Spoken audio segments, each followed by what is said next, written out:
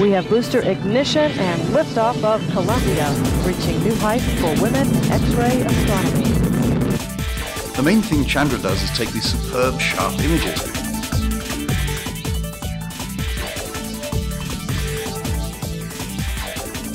Black holes sound wildly complicated. After all, there are all sorts of bizarre things going on intense gravity, the warping of the fabric of space, the distortion of time itself. When it comes to describing black holes, it comes down to just two numbers the mass of the black hole and its spin. That's right, everything you physically need to describe a black hole is found in just these two numbers. So, if it's so simple, astronomers must know these two numbers for lots and lots of black holes, right? In fact, getting these two numbers turns out to be incredibly hard. Dr. Jeffrey McClintock of the Harvard Smithsonian Center for Astrophysics has been trying to tackle this problem. Just recently, it turns out he and his colleagues did. Getting the mass is the easy part. These small black holes we study are orbited by an ordinary star like the Sun. Using an optical telescope, we measure the speed of this Sun like star and the time it takes to completely orbit the black hole. This is old hat. This is how astronomers have measured the masses of stars in ordinary binary systems and planetary systems for many years. But when I say that getting the mass is easy, I should be more careful. For example, we just spent two years getting the mass of one special black hole in the nearby galaxy M33. So it's, it's really no piece of cake. Anyway, we found that the mass of this X ray source, called M33X7, is about 16 times more massive than our Sun, with a margin of error of one and a half times the mass of the Sun. This is the most accurate mass that has been measured for any black hole. But this wasn't the end of the story with M33X7. McClintock and his colleagues set out to find that other elusive number, the spin. Measuring spin is really hard because you have to understand what's going on in the Alice in Wonderland world close to a black hole.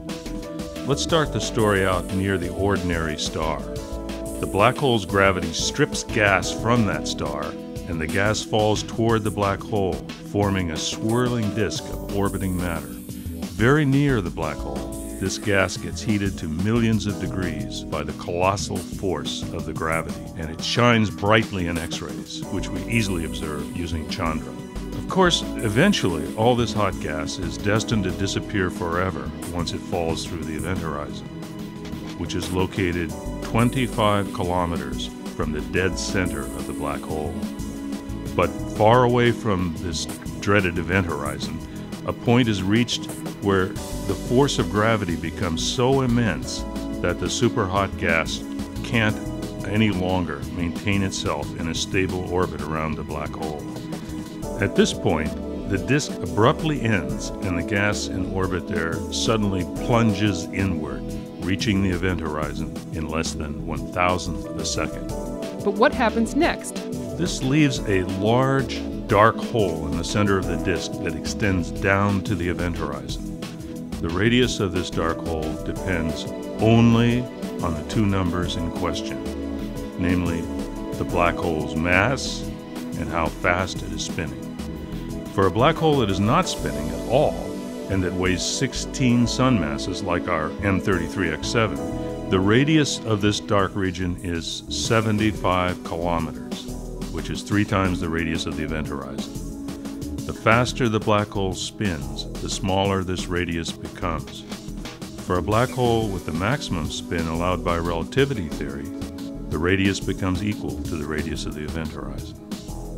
By studying the spectrum of the X-rays from M33X7, we've been able to accurately measure the inner radius of the hot disk to be 45 kilometers. And this tells us that the spin of M33X7 is about three quarters of its theoretical maximum value. Near the event horizon, the black hole spin drags everything around with it an apple, an astronaut, even space itself at the dizzying rate of 750 revolutions per second. So, what does this all mean? Jeff McClintock puts the result into perspective. As you said at the beginning, only two numbers are needed to describe a black hole. A black hole is as simple as an electron and far simpler to describe than, say, a grain of sand. It is absolutely amazing to me that Chandra has allowed us to obtain a complete description of an object the size of an asteroid that is situated at a distance of about 3 million light years. So there you have it two numbers to describe one of the universe's most mysterious objects. Getting to know these values is not just for fun. When they are plugged into theoretical models, they can help astronomers better understand things like how black holes are born, how gravity behaves under extreme conditions, and how black holes make powerful relativistic jets, and more. Who would have guessed that just two numbers could do all of that? More information, visit our website at chandra.harvard.edu. This was a production of the Chandra X ray Center, Cambridge, Massachusetts. NASA's Marshall Space Flight Center manages the Chandra program. The Smithsonian Astrophysical Observatory controls science and flight operations from the Chandra X ray Center.